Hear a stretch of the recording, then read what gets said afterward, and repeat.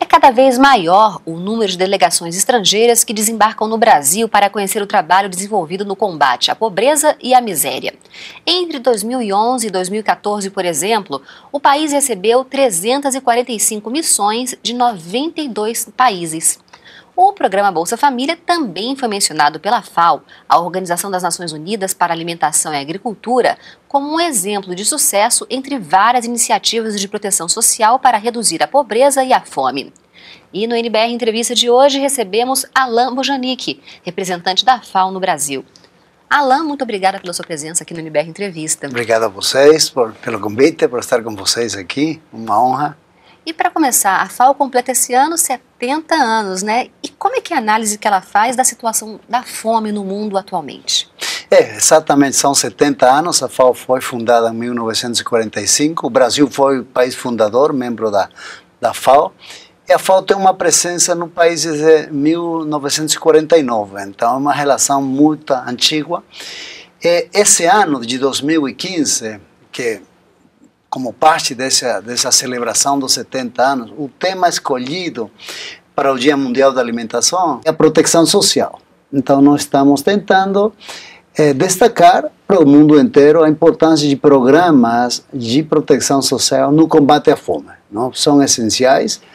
Temos uh, o relatório sobre a situação da segurança alimentar do Brasil, que foi lançado o ano passado, já mostrou essa estreita relação entre programas de proteção social e o combate à fome. As pessoas têm mais renda, as pessoas podem ter é, uma renda para justamente acceder a uma cesta alimentar. Esse que é o grande tema.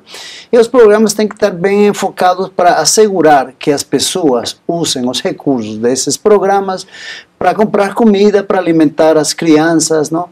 É um tema que tem que ser complementado com outros, não? A proteção social é, é, é, ótima, é necessária, mas tem sempre que ser complementada com outros programas para a erradicação da fome no mundo, né? O Bolsa Família é um exemplo desses programas? Sem dúvida, o Bolsa Família, é, nós é, temos uma, nessa parceria que temos de longa data com o governo brasileiro, já trouxemos muitas missões, a FAO organizou um grupo de países justamente para aprender da experiência brasileira, um grupo de trabalho que todos os anos se reúne no escritório regional que temos em Santiago do Chile, e temos países da América Latina, temos países do Caribe, que vêm para aprender do programa e também para apresentar a, a, a, implementação dos próprios programas que, que eles têm. Não? Programas de transferência de rendas já não são novos no continente, são, quase todos os países têm algum tipo de programa de transferência de renda. Eu diria que já é uma prática generalizada. Mas o pioneiro foi o Brasil. Não? O Brasil foi o primeiro que começou e agora todos os países da América Latina têm algum tipo de programa e também na África. Não? Tem alguns países na, na África que estão experimentando, aí está, ainda estão em uma fase de começo, não? De, de, de, de ver como que funciona e muito disso tem a ver com a aprendizagem do caso do Brasil, né? Há um ano o Brasil saiu do mapa mundial da fome uhum. e o Bolsa Família contribuiu para isso, não contribuiu? Essencialmente, não? A situação da insegurança alimentar, de pessoas numa situação de insegurança alimentar, é menos de 5%. Não? Quando um país está nessa situação, sai do mapa da fome. O mapa da fome é um mapa do mundo inteiro que os países são classificados em função do nível de insegurança alimentar. Se tem mais problemas, vai estar em vermelho, daí virar laranja, os rosas, são cores. Mas o Brasil, o ano passado, virou branco. Não? O que quer dizer que não tem mais um problema estrutural, endêmico, é, da sociedade brasileira. Então, o programa Bolsa Família foi um dos elementos críticos para que isso tinha acontecido. Os programas de compras de agricultura familiar é outro programa muito bem sucedido. Programas de merenda escolar, alimentação escolar, são chaves. Não, você não tem país do mundo que possa sair uh, do mapa da fome se não tem programas uh, de alimentação escolar, porque no Brasil são 43 milhões de crianças que todos os dias recebem uma boa alimentação. Alguns podem ter algum problema, mas em termos gerais é uma boa alimentação que contribui para melhorar a, a, a saúde das, das, crianças e o desempenho das crianças. E também é, tudo isso tem que ser complementar com programas de produção, de apoio, de subsídio para a, a, a, produção de alimentos, não? fomento à, produção de alimentos. E graças a esse tipo de programas, o Brasil passou de ser um país importador de alimentos a ser um grande exportador. Não? Também essa é uma outra história bem sucedida. Para sair do mapa da fome, com certeza precisamos de muita proteção social, apoio aos grupos mais vulneráveis, mas também apoio à produção. Não? Então, uma coisa que tem que ser complementar. E os países, quando vêm conhecer o Bolsa Família e os outros programas sociais de alimentação, eles fazem adaptações nos países deles. Uhum. Isso é necessário por quê? É porque é, o nível de, de, renda dos países varia muito. Não? Uhum. Tem muitos países, principalmente da, da África, que são muito pobres, que não têm para ter grandes apoios para fazer essa transferência de renda, seja condicionada, não condicionada. Então, é, um tipo de adaptação é só focalizar nos grupos mais vulneráveis. Não? Aqui no Brasil, é, temos uh, que o, o, a quantidade de pessoas que recebem um porcentagem alto. Se o país vai ser mais pobre, vai ter que botar menos recursos, mas vai ter que se enfocar nos grupos ah, mais vulneráveis, não? Mas os programas de proteção social sempre têm que ser vistos como programas para apoiar as pessoas a progredir, a que depois elas possam se graduar e ter um, um, bom desempenho, não? Então, mas esse apoio inicial é básico, é fundamental, não? Não podemos pensar em que as pessoas possam sair da pobreza, possam sair da fome sem um apoio do governo, né? E o que, que desperta a curiosidade de tantos países virem para o Brasil para conhecer os programas sociais como Bolsa Família? que você fala com muitas pessoas que antes passavam fome e de repente elas já estão num outro patamar, tá? já com outro tipo de atividade, muitos deles viraram até empreendedores num pequeno negócio. Então, ah, como que é, é, de, uma, de ter uma grande quantidade de pessoas nessa situação de insegurança alimentar, depois de alguns anos temos uh, uma porcentagem muito baixa. Então, a, a queda foi chave, não?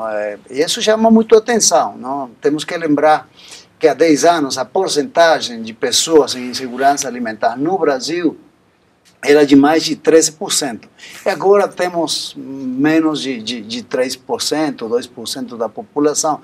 Então, essa queda chama muito atenção, né? E agora, Alain, os novos Objetivos de Desenvolvimento Sustentável prevê a erradicação total da fome nos próximos 15 anos. Quais são os principais desafios para alcançar essa meta? O mundo consegue alcançar essa meta? Nós, na FAO, acreditamos que pode, que é uma meta realista, não? complicada. E temos uh, grandes gargalos, temos uh, uh, grandes desafios, principalmente na África.